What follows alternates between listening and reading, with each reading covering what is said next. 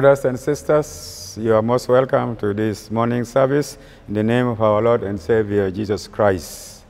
The Lord be with you and also with you. If a wicked person turns away from the weaknesses he or she has committed and does what is just and right, he or she will serve his or her life. Hide thy face from my sins and blot out all my iniquities.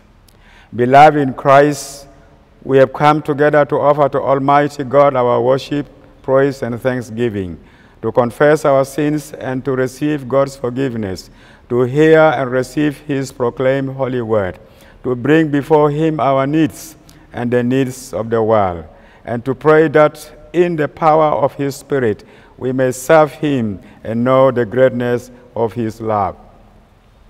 The Bible tells us not to hide our sins from God, our Heavenly Father, but to confess them with a repentant and obedient heart, so that we may receive His forgiveness in our lives. Let us therefore sit or kneel to confess our sins to Almighty God. General Confession Almighty God, our Heavenly Father, we have sinned against you and against our neighbors in thought and word and deed, through negligence, through weakness, through our own deliberate fault, by what we have done and by what we have failed to do. We are truly sorry and repent of all our sins. For the sake of your Son, Jesus Christ, who died for us, forgive us that is past, and grant that we may serve you in newness of life, to the glory of your name. Amen. Almighty God, who forgives all who truly repent, have mercy on you, pardon and deliver you from all your sins, confirm and strengthen you in all goodness, and keep you in life eternal. Through Jesus Christ our Lord. Amen. As our Savior taught us, so we pray. Our Father in heaven, hallowed be your name. Your kingdom come. Your will be done on earth as it is in heaven. Give us today our daily bread. Forgive us our sins, as we forgive those who sin against us. Lead us not in temptation, but deliver us from evil. For the kingdom, the power, and the glory are yours now and forever. Amen. Let us sing a hymn and the ministry of the word.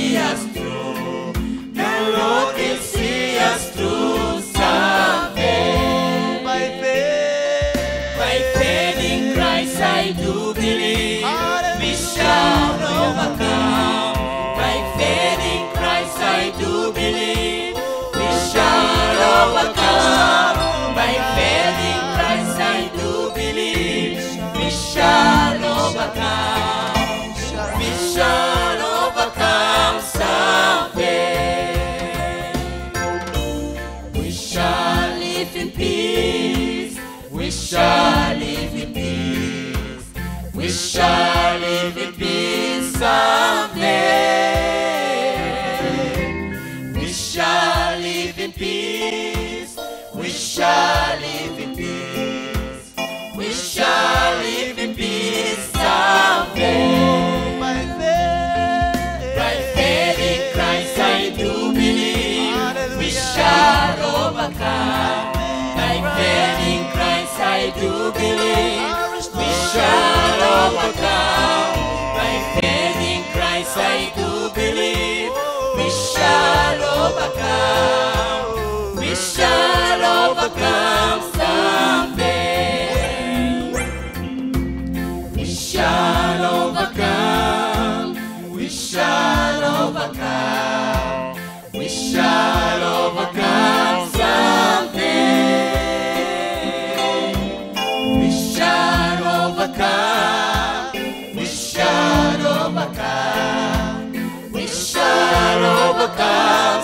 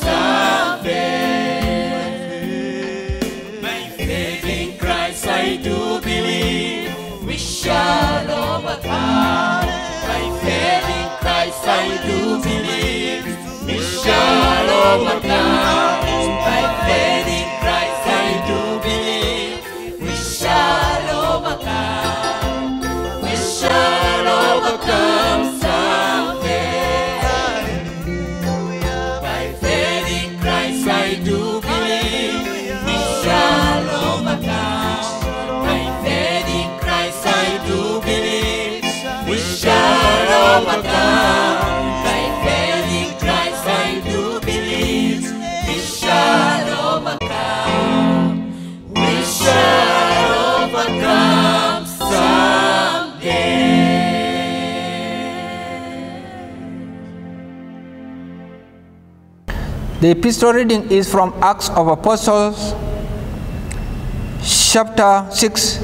Reading begins at verse 1. The seven helpers. Sometime later, as the number of disciples kept growing, there was a quarrel between the Greek speaking Jews and the native Jews.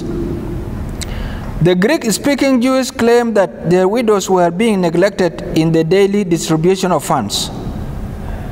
So the, the 12 apostles called the whole group of believers together and said, It is not right for us to neglect the preaching of God's word in order to handle finances.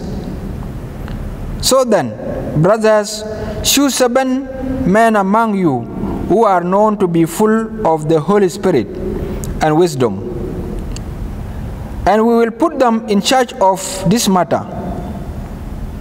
We ourselves then will give our full time to prayer and the work of preaching.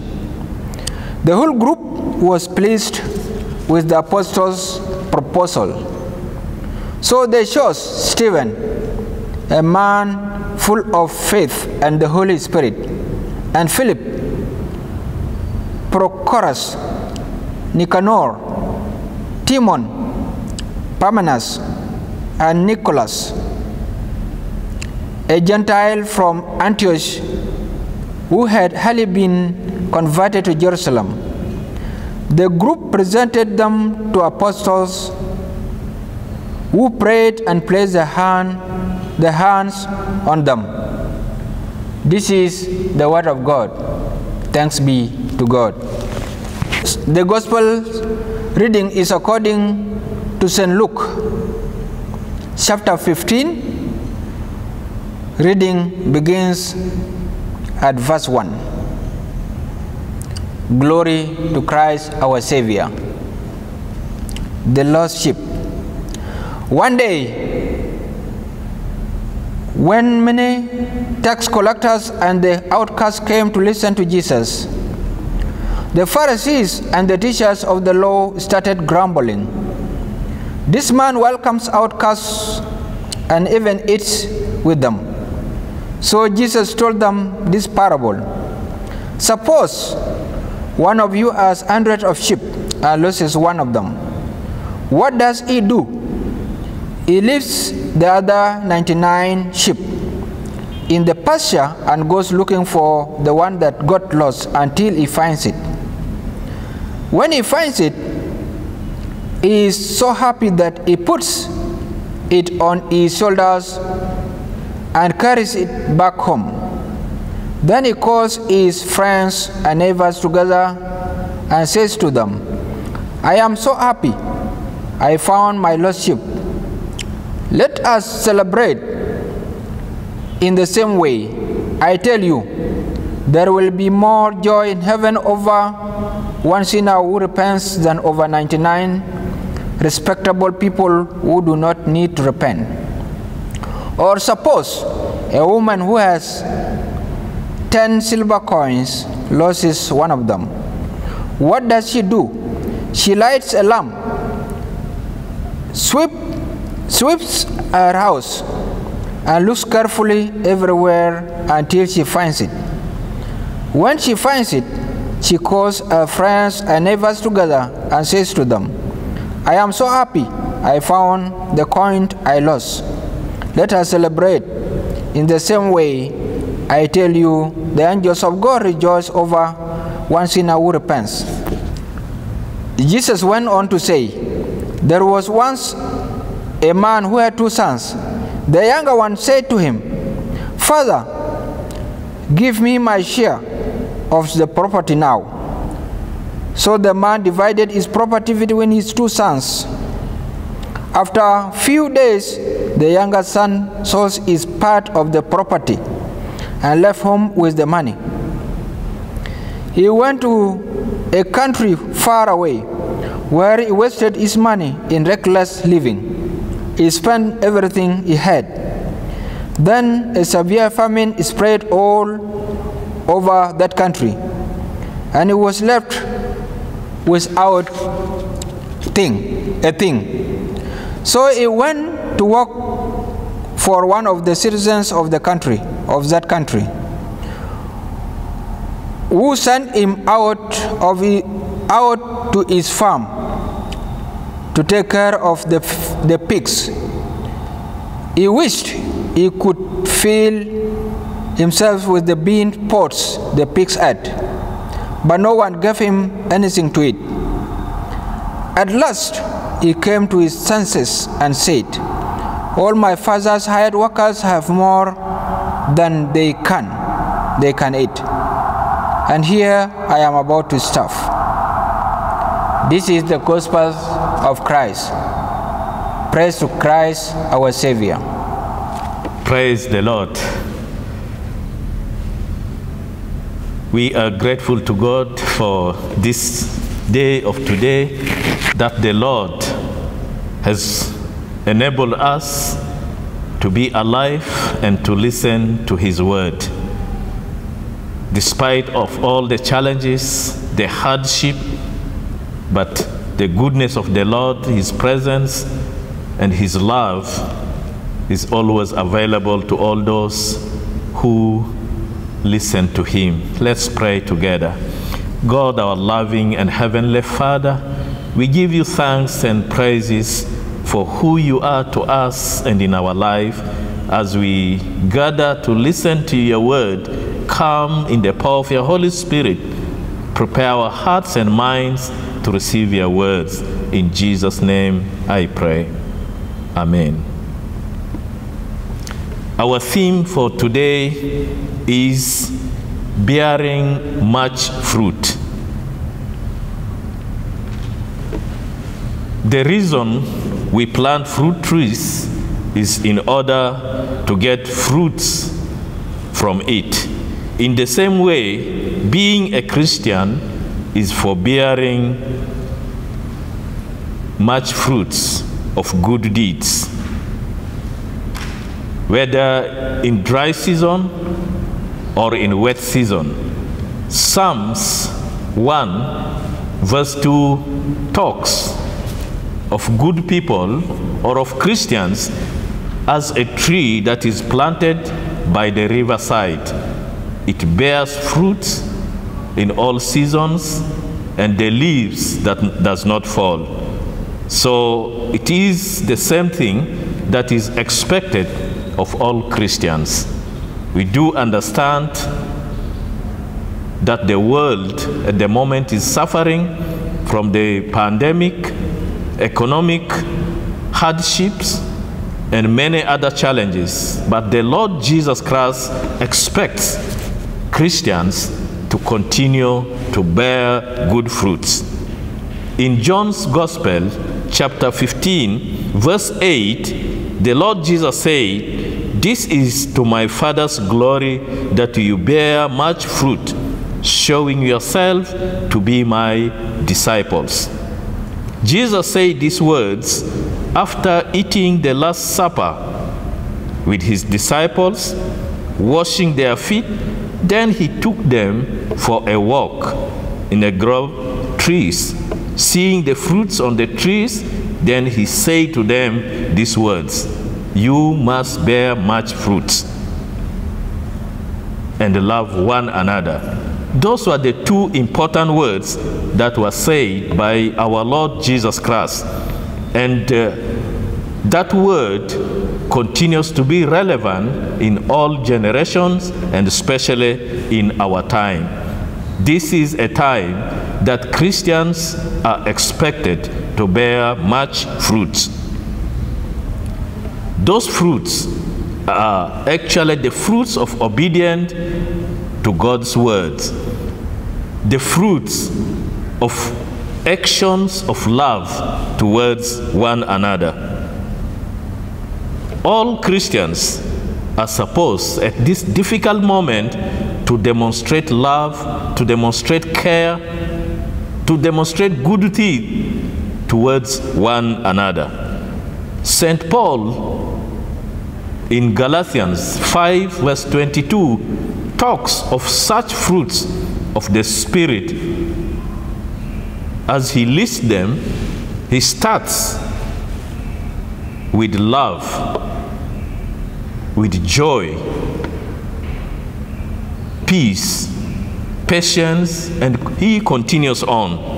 Amidst of all challenges, we are expected as Christians to do our role in exercising our God given gifts in love, with joy, and patience, or otherwise the devil might come in and confuse us and divide us and make us to be Christians who are timid, to be Christians who are complaining a lot, to be Christians who are so fearful and to be Christians who murmur.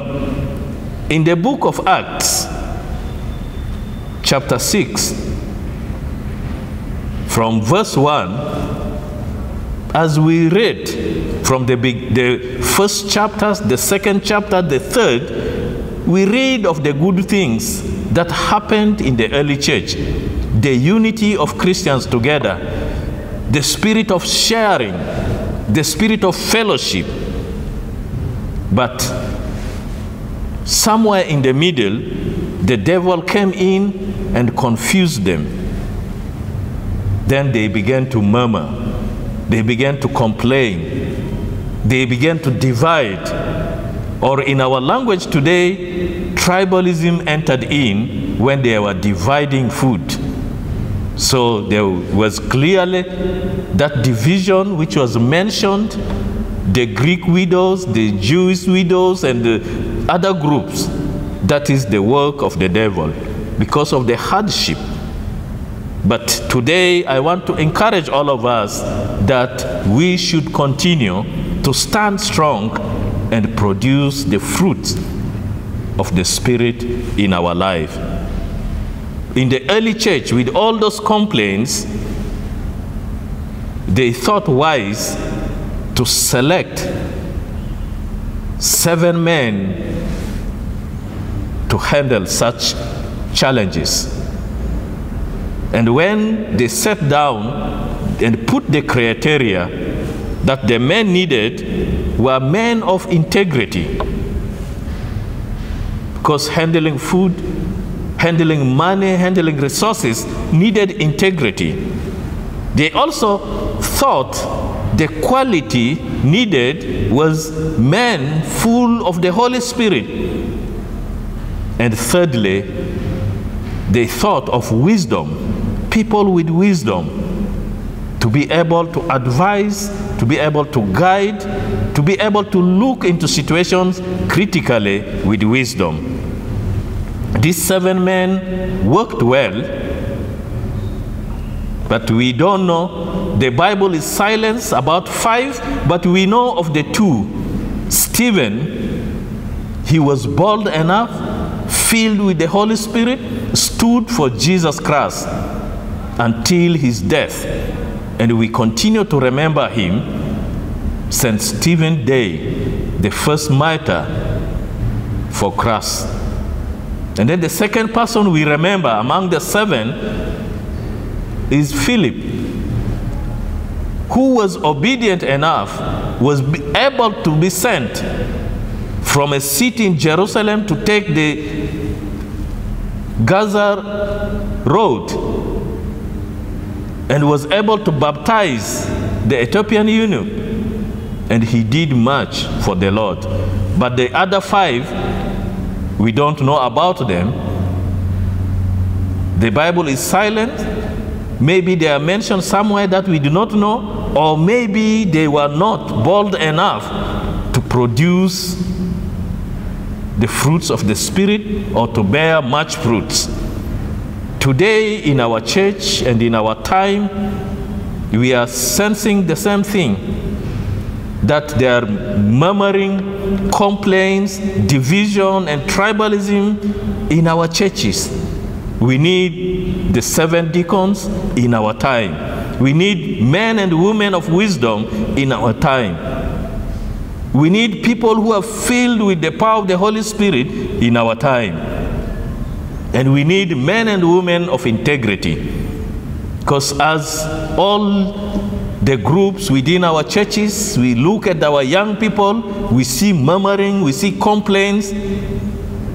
We look at our women, the Mothers Union, we look at our laity, and we look at our Christians who are serving out there with the organizations in the government. We see many other challenges, difficulties, temptations that needs a life of integrity that needs wisdom, that needs a person to be filled by the power of the Holy Spirit.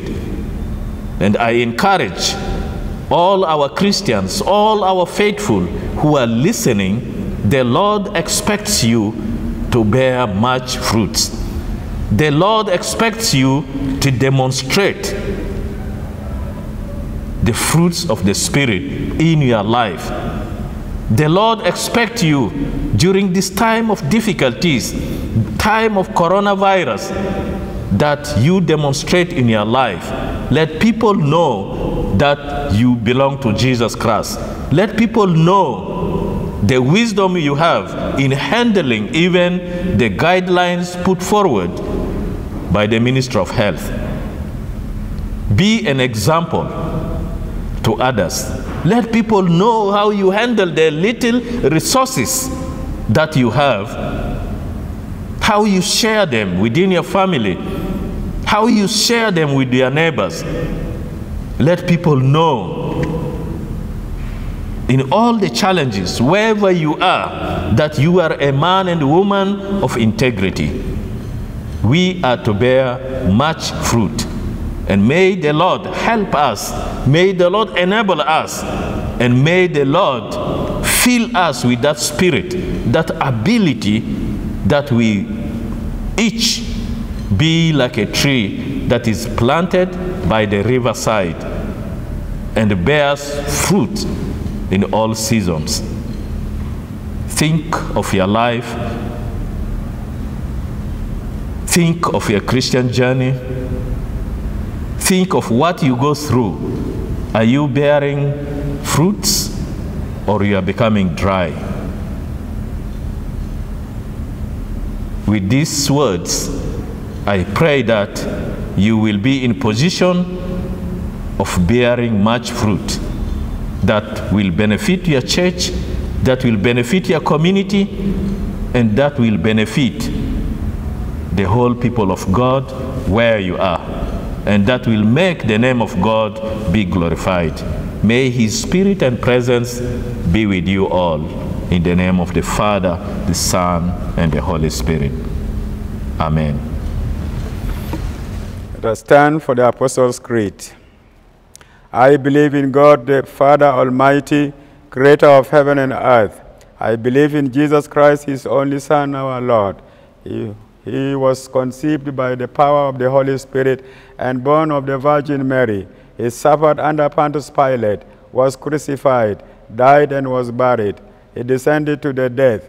On the third day, he rose again. He ascended into heaven and is seated at the right hand of the Father.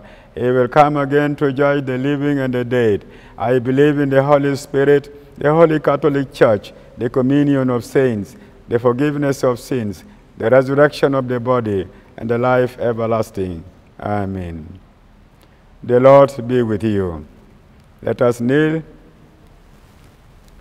Christ have mercy. Lord have mercy. Show us your mercy, O Lord, and grant us your salvation. May our bishops and all our church leaders have wisdom to teach and preach your word. Amen. Lord, have mercy. May the leaders of our country rule with justice and righteousness. Amen. Lord, have mercy. May our country have peace and our people live in harmony. Amen. Lord, have mercy. May our flock and herds prosper and the fish and other edible creatures of the water abound in our rivers. Amen. Lord, have mercy. May our fields produce plentiful harvest, and other forests produce plenty of honey and fruits. Amen. Lord, have mercy. May the spirit of true forgiveness fill our hearts to reconcile with all those who have wronged us. Amen. Lord, have mercy. May all our children grow mentally, physically, spiritually, and socially under your protection with wisdom for a good future. Amen. Lord, have mercy. May the people of the world experience your love and peace in their different situations. Amen. Lord, have mercy. Let us join the morning prayer together. O Lord, our Heavenly Father, Almighty and everlasting God, we give you thanks for bringing us safely to this day. Keep us from falling into sin or running into danger. And in all things, guide us to know and do your will. Through Jesus Christ our Lord. Amen. For our intercession, let us pray for our church, the Episcopal Church of South Sudan, and the whole entire church in the world. Let us remember our country, the Republic of South Sudan, and its leaders. Let us remember the sick and the suffering. And let us remember especially those who are in the hospitals, at home, wherever they are, so that the good Lord may visit them. And let us also remember for those who are bereaved, they lost their dear ones. Almighty God, we pray for the church throughout the world, and more especially the Episcopal Church of South Sudan. Grant to our primate, Dr. Justin Badi Arama, we want to remember the internal archbishops, the bishops, priests, and all leaders and Christians in our churches. Your life giving spirit of wisdom and understanding. Help all Christians to practically serve and live to the standard of your teachings. Through Jesus Christ our Lord. Amen.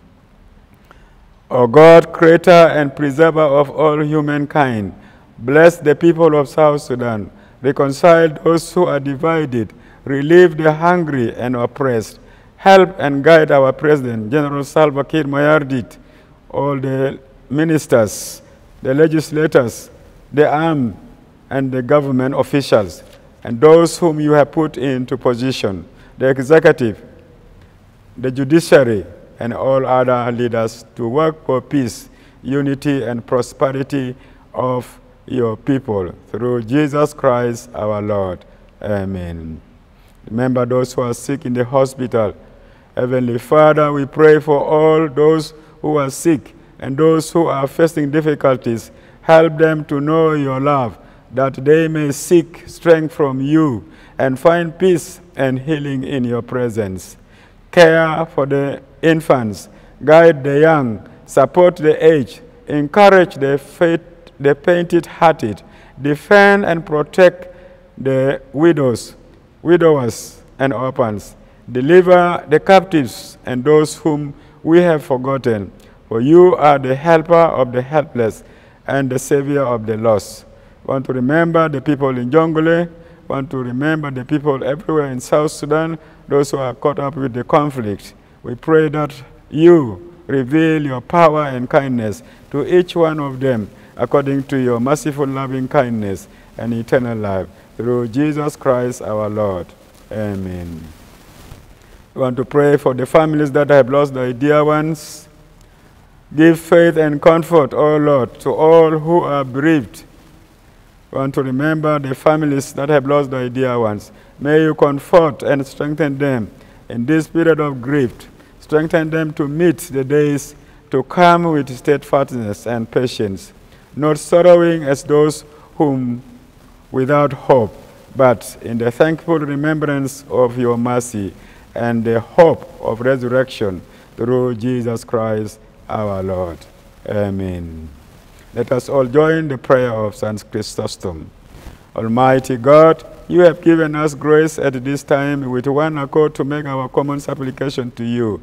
And you have promised that when two or three are gathered together in your name, you will grant thy request. Fulfill now, O Lord, the petitions, the desires and petitions of your servants, as may be most expedient for them, granting us in this world knowledge of your truth, and in the world to come, life everlasting.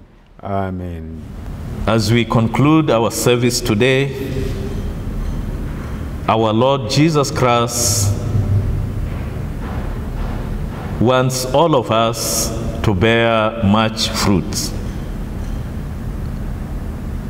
So let's go out, continue amidst of all the challenges to produce fruits of the Spirit in our life and in all we do. Let's pray together. The peace of God, which passes all understanding, keep your hearts and minds in the knowledge and love of God and of His Son, Jesus Christ our Lord, and the blessing of God Almighty, the Father, the Son, and the Holy Spirit be among you and remain with you always. Amen.